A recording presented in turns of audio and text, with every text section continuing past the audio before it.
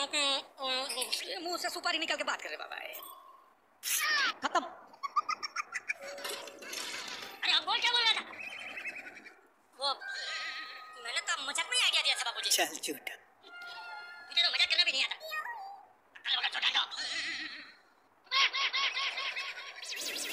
कौन है?